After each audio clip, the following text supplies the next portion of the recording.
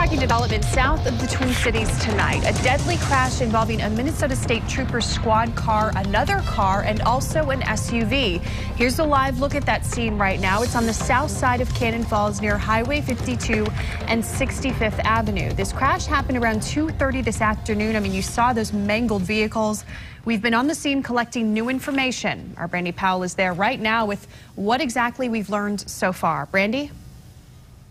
Well, right now, we don't have confirmation yet on the specifics of the injuries, but we were there right when the medical examiners arrived. We were the first crew here from the Twin Cities. You can see behind me here, authorities still investigating. But I want to give you first a sense of this road where this accident happened. Right here is what the people in town call Old 24. It leads up to the top of a hill there where there's a small bank. That's how you can get onto 24 West. It's 30 miles an hour up there. As you come down here where the accident happened, it quickly changes to 45.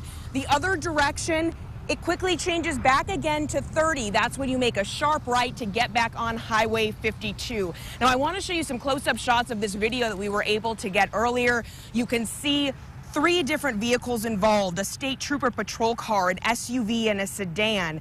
We spoke with one woman who says she saw lights but did not hear the sirens. This as the patrol car was driving at a high rate of speed, as she describes it, along Old Highway 24.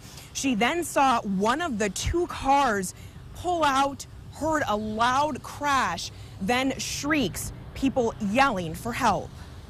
Big cloud of smoke. A cop car was coming down with the lights on, and the car's coming down, or uh, right here at the parking lot trying to cut out and just smashed into them. And big old cloud of smoke, and people are just screaming and describes again that big cloud of smoke. What you're looking at here, live pictures of that SUV, the sedan, and the patrol car. We're right in between a Super America, a McDonald's. That's where the woman works who you heard from a moment ago, and also an old antique mall. They say that they've never seen anything like it, the folks who live and work around here. Live near Cannon Falls, Brandy Powell, 5 Eyewitness News. And stay with 5 Eyewitness News for updates as we learn more about this deadly crash. We'll have the latest information all night long on KSTPaswell.com. Weather